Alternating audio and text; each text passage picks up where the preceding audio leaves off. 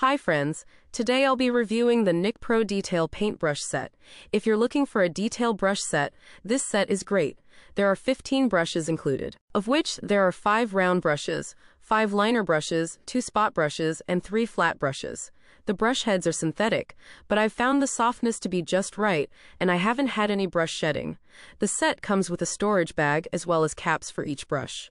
I love that it also comes with this hard case if we want to store them here instead. So this set comes with all the detail brushes needed for micro detail painting.